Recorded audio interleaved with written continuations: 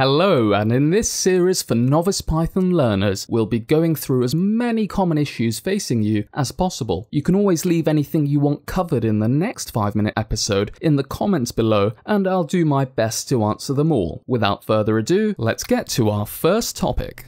Here we have the doc strings of the base64 built in as a text file. Our aim is to extract only a certain part of the text. Our solution will be to surround the text of interest with five asterisks at the start and five asterisks at the end. The principles apply more generally to other sources of input. As part of our solution, we'll be using context managers. If you haven't come across them before, our first line here means that we'll open this file and in the subsequent indented block, this open file can be accessed through F we'll iterate over every line in the file from start to finish, and if we come across five asterisks in a row, then we'll move on to the next part of the code. This is how we'll be ignoring the text up until the first marker. For each of the remaining lines in our file, we'll print it to the terminal, unless of course we come across five asterisks again, in which case we'll break out of this part of the code. We'll just use print line here, in place of any specific processing code that you may have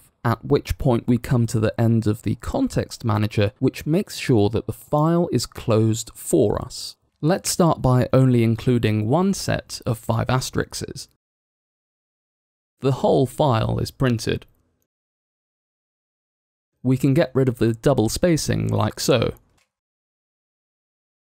Now when we include the end set of 5 asterisks, we get only our selection printed. The reason for including the dot .strip string method is to ensure that any spaces prior or any spaces subsequent to our 5 asterisks don't stop them from working. If we didn't include this, then this 5 asterisks with all these spaces before it will mean that it's not equal to 5 asterisks as we have it here. Let's turn our attention to file paths. One of Python's strengths is the ease with which we can write language agnostic software. This path, by itself, is a valid one to the file that we had open earlier, so it can be a surprise that we get an OS error when we try to open it.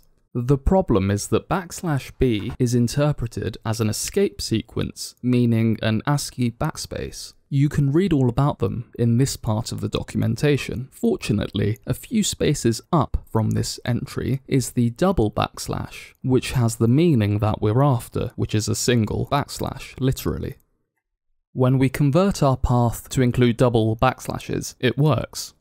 Alternatively, we can include a lowercase r just prior to our string, which means that Python will interpret it as a raw literal and interpret backslashes as backslashes.